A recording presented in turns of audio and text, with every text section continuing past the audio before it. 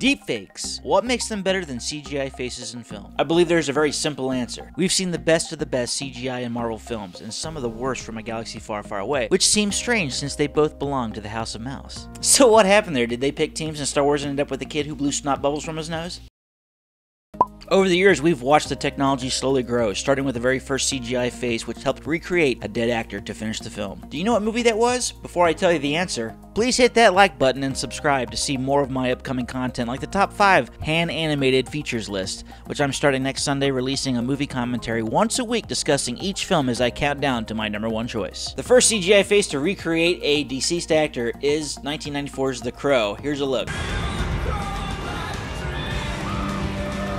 But since the days of the crows, CGI has advanced, but somehow we haven't been able to cross the Uncanny Valley without using real footage. Now, the Uncanny Valley is a reference to the phenomenon whereby a computer generated figure or humanoid robot bearing a near identical resemblance to a human being arouses a sense of unease or revulsion in the person viewing it. In simpler terms, most CGI characters just come off creepy. Here we have two fully computer generated faces, one of Peter Cushing playing Tarkin, and Jeff Bridges as Clu from Tron Legacy. So what makes these faces look unrealistic and takes you completely out of the moment? The answer? The dead eyes staring back at you. Once you stare into them, oh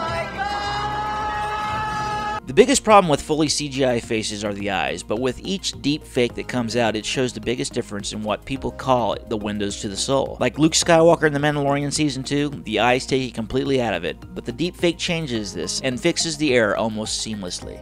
Only once was I ever fooled by a movie believing that the person that I was looking at was an actual person and not CG, and that was 2017's Logan.